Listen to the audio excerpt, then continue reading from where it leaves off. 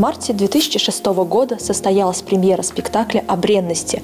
Так началась история православного творческого объединения «Мир», одной из культурных и просветительских площадок города Сарова. Спектакли, концерты, выставки, творческие вечера – все это совместно создают Роман Сванидзе и Ирина Семенчук, герои нашего нового выпуска передачи «Лица Сарова» чтобы люди с нашего спектакля выходили чуточку лучше. С такой целью живет и работает православное творческое объединение «Мир». За свою 15-летнюю историю объединение вышло за рамки театра. Площадка «Мира» всегда открыта для новых идей и интересных форматов. Здесь собирается публика разного возраста, разных убеждений и мировоззрений, потому что слово «православное» — это не про строгость, непримиримость и безликость, а про доброе и светлое слово, которое несет творческое объединение для всех неравнодушных людей. Мы изначально ставили себе задачу работать э, для всех, не только для выцерковленных, выцерковленных людей, выцерковленной публики, но и для всех, кто готов к нам прийти. Мы специально, сознательно, хотя некоторые нас отговаривали, включили в свое название слово «православные», чтобы люди понимали, куда они, куда они идут. Что здесь люди с определенным мировоззрением, будут говорить о вещах, которые их волнуют. Но, опять же, мы говорили о том, что в нашей работе не будет прямой проповеди. Мы э, даем, делимся своими размышлениями как люди, а не, не проповедуем э, вот э, напрямую. Опять же, это сфера деятельности церкви, а не наша мы через какие-то другие механизмы работаем. И много, к нам много приходит людей невыцерковленных, и даже э, бывают случаи, когда приходят люди напряженно относящиеся к церкви. И часто они вполне доброжелательно воспринимают наше творчество. Уж не знаем, как оно скажется, не скажется. А все началось с проекта православного театра, который Роман Сванидзе и Ирина Семенчук представили на конференции, посвященной использованию и организации помещений Саровского монастырского комплекса. Многим такая идея понравилась, и это придало мировцам сил. В самостоятельное плавание творческое объединение отправилось с первым спектаклем о бренности по рассказам Антона Павловича Чехова. Тогда в постановке были задействованы актеры драматического театра. В Саров приехала команда такая состоящая из журналистов журнала «Фома», э, профессуры МГИМО, и вместе с ними э, был владыка Георгий, еще недавно тогда назначен, еще тогда просто епископ. И так нам повезло, так благодаря людям, которые нам помогали, случилось так, что э, к нам на спектакль вот пришла вот эта вся команда, которая была впечатлена нашим спектаклем, и владыка в том числе. Он вышел, стукнул посохом и сказал православному театру быть. Благословил нас занять э, помещение, которое когда-то было малой сценой театра. То есть мы практически никуда не уехали. Театр переехал, а православное творческое э, объединение «Мир» осталось, потому что большинство наших спектаклей как раз проходило на малой сцене, вот кукольные спектакли. Так что мы продолжили там. Ну а потом уже, когда возродился монастырь, и уже наше там пребывание было не очень уместно, появилось это здание, и нам благословили это здание тоже частично занять. Вот мы построили сами сцену, зрительный зал. Благодаря участию в грантах приобрели какое-то оборудование. Так Роман Сванидзе стал председателем правления в творческом объединении, а Ирина Семенчук заняла место режиссера-постановщика. Хотя и это разделение условно. Члены объединения все делают вместе. Это большая работа каждого. Мир в прямом смысле слова – общественная организация, потому что она существует без какого-либо финансирования со стороны. Деятельность мира осуществляется за счет привлечения грантов, скромной выручки от мероприятий и пожертвований людей. Выигранные гранты позволяют художествовцам делать так называемые спектакли-проекты, которые предполагают предварительную работу с актерами и зрителями перед постановкой и после нее. Так создали спектакль «Дом свободы» по письмам царской семьи из заточения в Тобольске, а также постановку «Сестры» про судьбу дивеевских монахинь. Например, вот «Дом свободы» у нас прошел конкурс до спектакля, до выпуска спектакля, прошел конкурс сочинений. Мы э, вывесили баннеры тематические по городу. Мы организовали публика, ряд публикаций в городских СМИ.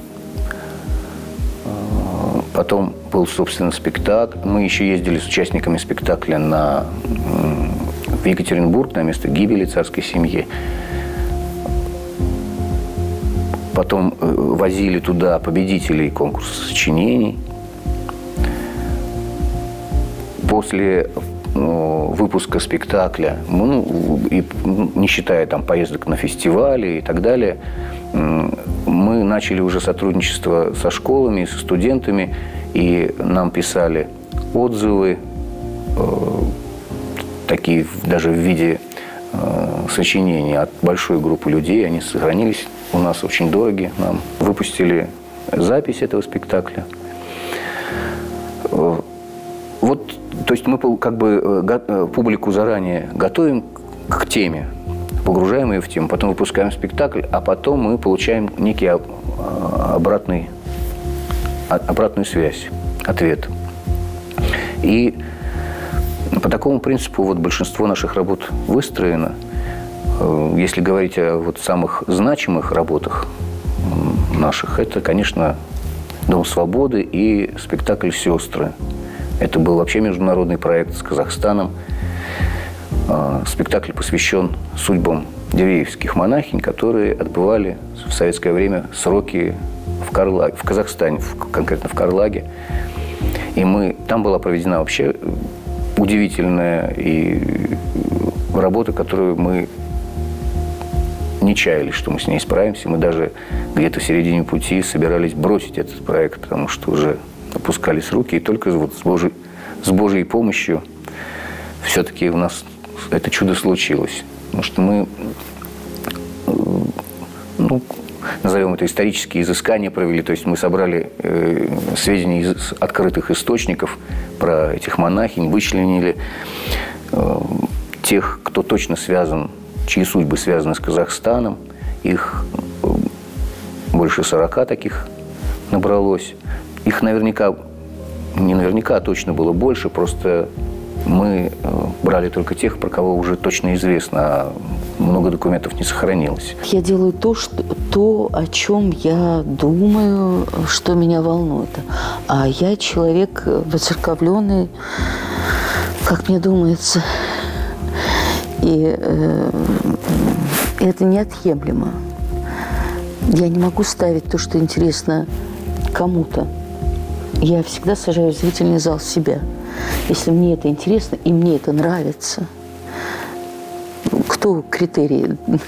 Я сама, ты сам свой высший суд, говорил Пушкин, взыскательный художник. Поэтому я, конечно, ставлю даже если, даже если нет прямого, прямой направленности такой православной, она должна все равно присутствовать и не должна пьеса противоречить моему мировоззрению. Обязательно она присутствует. Я все равно ее э, проявляю. Но, э, видите, мы же сюда пришли и открыли э, это замечательное дело со своими друзьями. Именно для того, чтобы говорить э, тем языком и то, что мы чувствуем. Зачем же мне э, в данном месте искать какой-то материал другой? Сложно найти как раз материал этой направленности, такой, чтобы он был э, интересен всем. Вот, поэтому как-то так. Хотя э, тут у нас появилась такая э, творческая группа «Образ», Э, создал в городе ее э, Алексей э, Михайлович Каменский. Вот. Ну и затем как-то они перешли сюда к нам, он их передал. И мы с ними сделали учебный, учебный спектакль. Я, честно говоря, не думала, э, что эта пьеса дойдет до зрителя. Мы взяли как учебную работу. Это Александр Володин с «Любимым не расставайтесь». И она, конечно, э, ну, все же вот эта работа выросла, дошла до зрителя. И мне кажется, что мне удалось передать там и э, вот такую линию. Ирина Семенчук признается, что не может проводить актерские кастинги и отсеивать неподходящих. Творческое объединение «Мир» открыто как для профессиональных актеров, так и для всех желающих и любителей. Но маленький секрет у Ирины, как у режиссера, все-таки есть. У нас нет такой постоянной труппы. Зависит от того, кто необходим в данном спектакле. Честно говоря, я приглядываю людей. Я приглядываю, я смотрю, там, где-то в православной гимназии, где-то в приходе, где-то еще. Эм, то есть, ну, такие, знаете, вот человек лицо светится.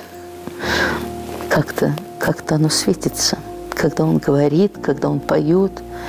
Это, конечно, такой отличительный признак, признак таланта для меня. Вот, когда есть некий такой вот лучезарность какая-то, да, идет от человека. Вот, я подхожу, приглашаю. Не все всегда соглашаются. Иногда кто-то приходит наоборот сам и говорит, я хочу. Но как же складывался личный путь создателей творческого объединения? Как они пришли к открытию в Сарове православного театра? Осознанная мечта стать актером появилась у Романа Сванидзе еще в пятом классе. И тогда он пошел на занятия к Александру Бахановичу, а потом прошел почти через все театральные студии города. Будучи школьником, Роман уже принимал участие в спектаклях Саровского драматического театра. Я собирался изначально вернуться в Саров, в наш театр. Поэтому Нижегородское театральное училище, тем более много выпускников у нас работало, и оно славилось и славится качеством своей школы. Вот. И после восьмого класса я решил поступать. И уже все, завяз... ну, заканчивал с учебой, не видел дальше смысла. Но выяснилось, что в тот год не было набора на драматического актера, а был набор только на кукольное отделение – и я не стал поступать после восьмого, а скрипя сердце пошел в девятый класс. После девятого я пошел поступать, ну, подготовился я безобразно, халявно. У меня был очень маленький репертуар и не очень качественно, видимо, подготовленный. А, на драму меня срезали. И больше того, часть людей, которые не поступили на драму, рекомендовали для поступления на куклы – но меня даже в список рекомендованных на куклы не включили. Но никакого пути у меня не представлялось другого. И возвращаться в школу в 10 класс, это был для меня не вариант совершенно.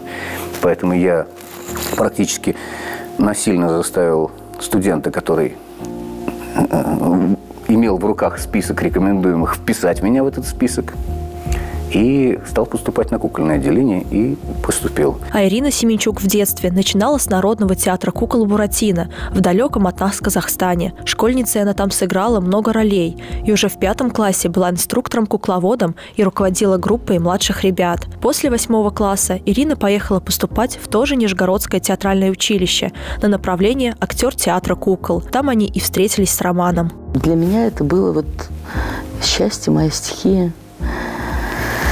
Вот, затем я поработала в некоторых театрах страны, нашей большой тогда советской.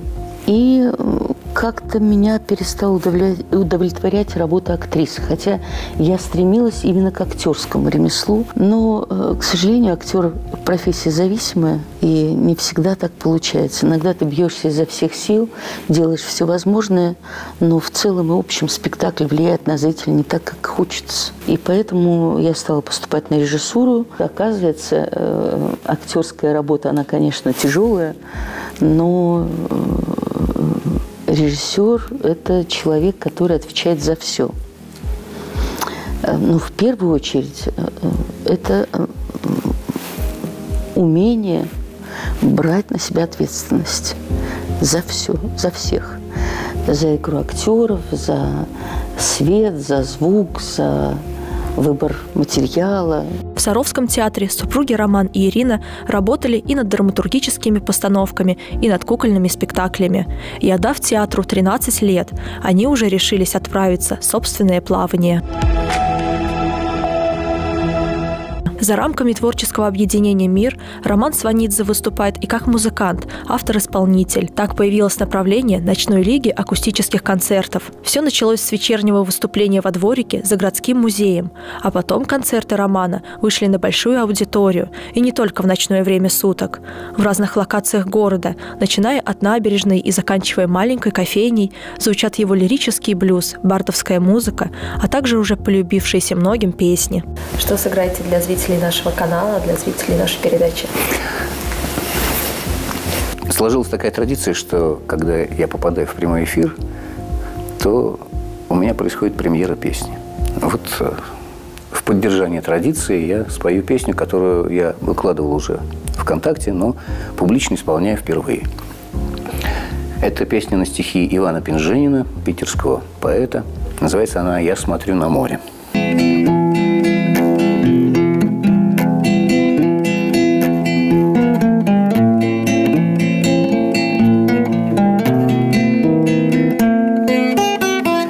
Смотрю на море, и как будто горя в жизни моей прошлой не было и нет. И слова все будет снова на повторе, Словно мне не сорок, а семнадцать лет.